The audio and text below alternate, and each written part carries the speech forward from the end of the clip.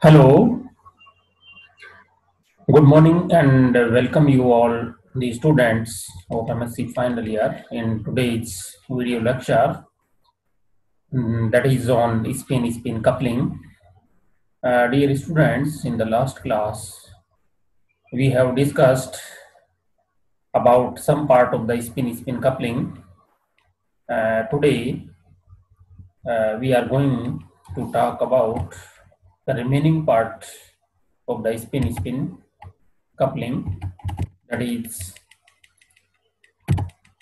uh, uh, we have discussed uh, up to uh, the introduction spin spin instructions and uh, uh, the general introduction of the coupling constant j and some factors affecting the coupling constant. Today we are going to discuss about uh, the coupling constant, various type of the coupling constant.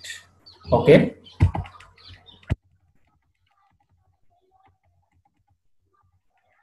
Yeah, uh, in the last class, uh, we have discussed uh, about the factors affecting the coupling constant. Uh, the number one is the numbers of uh, bond through which the interaction is taking place second one is the type of bond and third one is the geometrical orientation of the bonds or angle. Here today we are going to start from here uh, types of the coupling constant. Number one is the geminal coupling constant. Second one is the vicinal coupling constant. Third one is the long range coupling. We can denote that the geminal coupling constant uh, with superscript 2 J H A H B where this superscript 2 denotes the number of the bonds uh, through which uh, the coupling between HA and HB type of the protons which are in chemically non-equivalent environment uh, taking place. Okay, in the same way, uh, the vicinal coupling can be denoted uh, by superscript 3j HA HB. Okay, and the third one is the long range coupling. Coupling. Now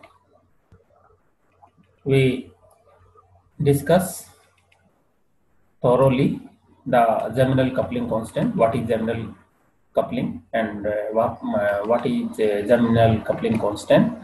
Uh, first of all, uh, we should know about the geminal protons. Which type of the protons will be called as geminal coupling.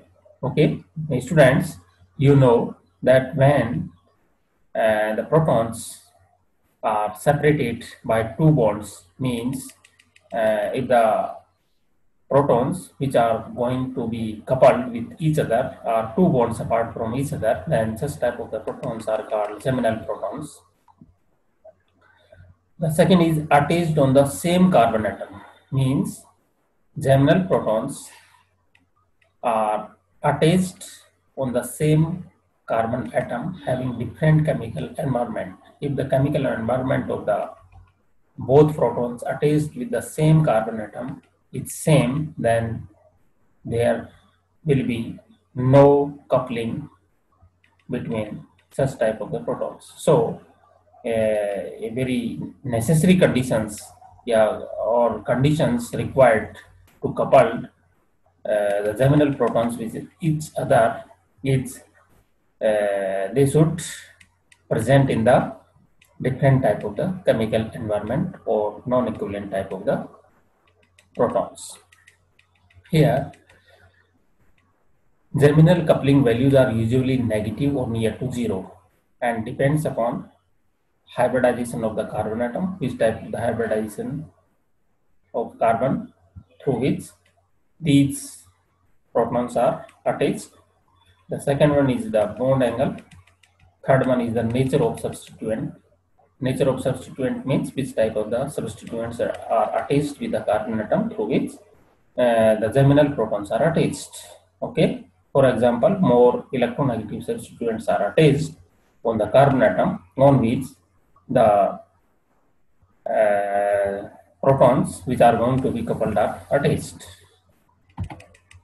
Now here Uh, this is the geminal coupling constant for sp3 geminal coupling constant for sp2 geminal coupling constant for sp so if we compare the value of geminal coupling constant in different type of the hybridization state then we find found that the absolute value decreases on increasing the S character. When we, we go from sp3 hybridization to sp hybridization, we go to that in sp3 hybridization, uh, the S characters are only 25%.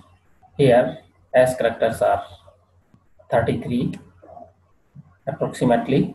Here, S characters are 50%. So, S characters are continuously increasing going from sp3 to sp hybridization so value of sp3 coupling constant will be greater in comparison to sp2 and sp okay?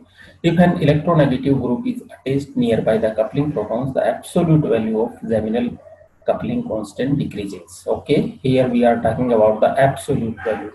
It means we have already said uh, or discussed that the value of uh, geminal coupling constant is either negative or near to the zero. So here absolute value means we need not to denote the symbol or plus minus value of the coupling constant means irrespective of the sign of the coupling constant we denote the coupling constant only in uh, numerical value Okay.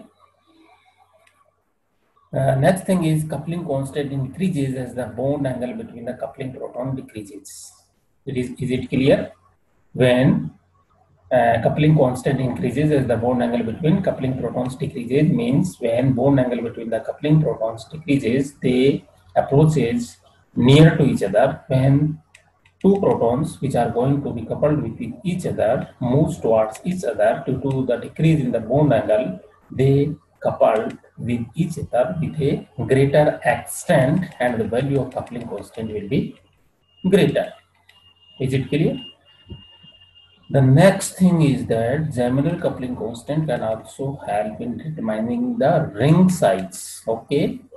With the value of geminal coupling constant, we can also calculate or we can also uh, determine the ring size. For example, here this is the angle between these two protons which are non-equivalent means present in the different chemical environment so if alpha value is, is smaller then these two coupled protons will approach towards each other means the distance between these two protons will be smaller so in this situation the coupling or extent of the coupling will be greater so the value of coupling constant will be more. And on the other hand, if the angle means the value of alpha is greater, means these two protons will move apart from each other and the distance between these two protons will be increases and the coupling in this situation between these two protons will be lesser so the value of the coupling constant will be this small here second thing here this carbon is sp3 hybridized and this carbon is sp2 hybrid. Means these two protons are geminal protons. Here these two protons are also geminal protons. But the difference is that these two geminal protons are attached with the sp3 carbon atom. Here in the second case these two geminal protons are attached with the sp2 carbon atom. Okay as we have discussed earlier here the value of coupling constant for sp3 and sp2 so the value of coupling constant for sp3 carbon atom or geminal protons present on the carbon atom will be greater in comparison to the sp2 so here irrespective of the symbol oh sorry sign means absolute value of the coupling constant will be greater for sp3 hybrid and lesser value for sp2 is it clear?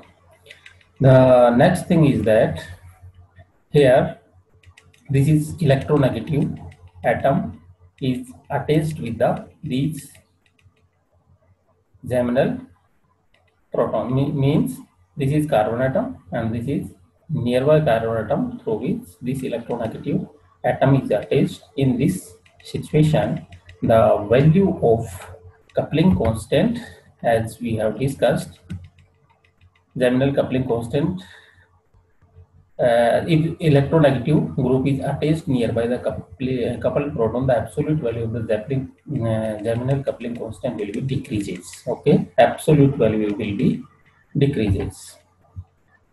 Here you can see. Now, how can we determine the ring size with the help of geminal coupling constant? Here you can see clearly in this slide that the angle in cyclopropane is 60 degree angle in cyclobutane 90 degree okay? And uh, in this 70 how much angle can be? When we go from three member to six member the ring strain decreases continuously and subsequently the bond angle between these two geminal protons will be decreases. When the bond angle between these two geminal protons will be decreases then in these situations we can observe the greater value of the coupling constant absolute value. We are talking about absolute value of the coupling constant here. Okay? So the value of Geminal coupling constant for these two protons in cyclopropane minus 4 and the geminal coupling constant value for cyclohexane is minus 13 okay. Now second type of the coupling is vicinal coupling that can be denoted by superscript 3j ha and hb means these two type of the protons non-equivalent, which are non-equivalent protons, which are going to be coupled with each other, are three bonds apart from each other. Means HA and HB are not present on the same carbon atom. Okay, vicinal protons. Protons attached to the adjacent carbon atoms are called vicinal protons, separated by three bonds, as we have denoted here on the superscript variable C. The Vicinal coupling constant value depends upon dihedral angle, carbon-carbon bond length, nature of the substituent, electronegative or electropositive, which type of the substituents are attached with the carbon atom. These all factors decides the value of vicinal coupling constant. Okay, what is dihedral angle? Do you know about the dihedral dihedral angle? Here, this is carbon-carbon bond CH bond and this is also CS bond means this hydrogen is attached with this carbon atom and this proton is attached with this carbon atom. So when this this is projected this bond is projected towards us and this bond is projected toward uh, yeah, away from us when we draw a plane in this way and in this way and the angle between these two planes is called dihedral angle. Okay, here and view and view of the same compound. This carbon and this carbon is the front carbon and this carbon is the back side of the carbon. This proton is attached with this carbon atom and this proton is attached with this. And the angle between these two protons is called the dihedral angle. Okay. Here, this is these two are Ha and Sp are the vicinal protons and these two protons are three bonds apart. As we have discussed in the last video lecture that any type of the coupling uh, cannot occur through the space. It means these Ha protons cannot couple with Hb protons through space interaction as just like the chemical shift. Okay so Ha protons will coupled with Hb protons through the bond electrons. Okay, and these two protons are one, two, and three bonds apart. These bonds are uh, these bonds have been denoted by in thick black line and one, two, and three bonds are there. So this is called vicinal coupling, and the value of vicinal coupling is 6 to 8 hertz. Okay, in the case when carbon and carbon are attached with a single bond. Now we talk about uh, the another case in which there is a double bond between carbon and carbon. So these two protons are called vicinal protons, but the difference is that the position of these two protons are trans to each other, and in this case, the, uh, the positions is cis to each other.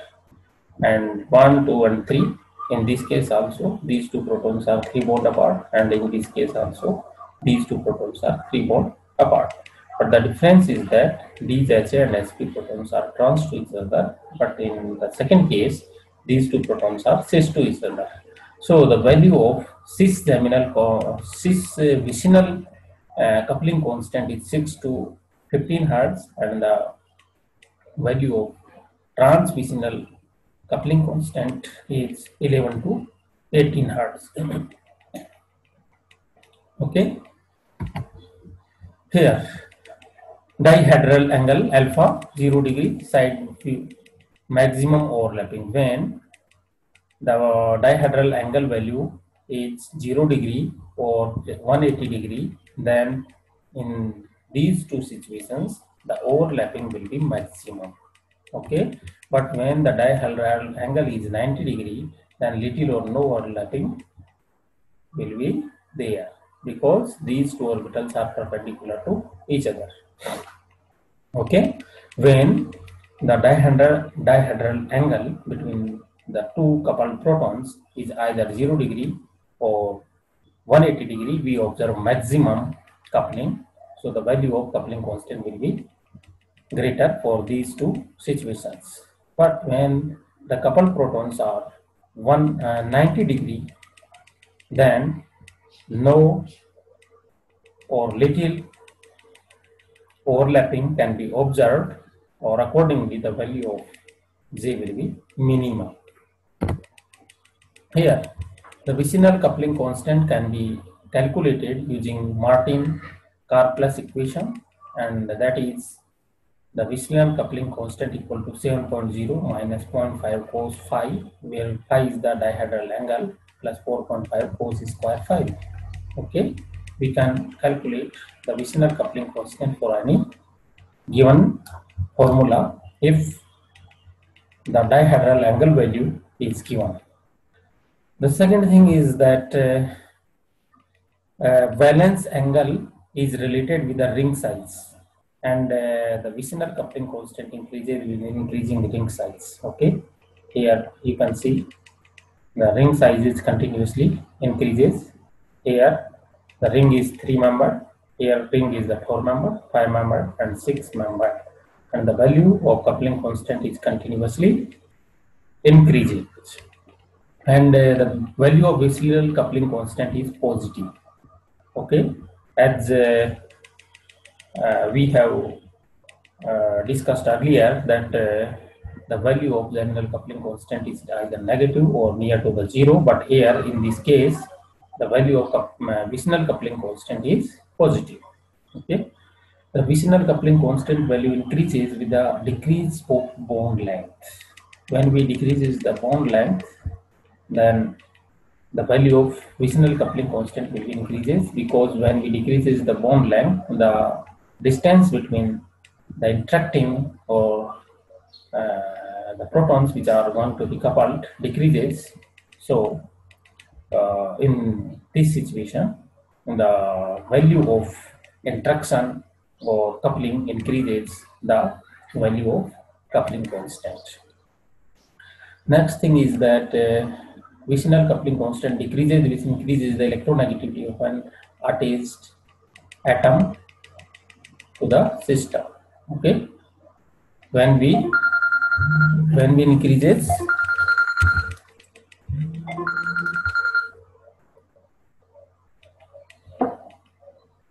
the electronegativity of the attached atom and the value of vicinal coupling constant decreases. Okay. The third type of the coupling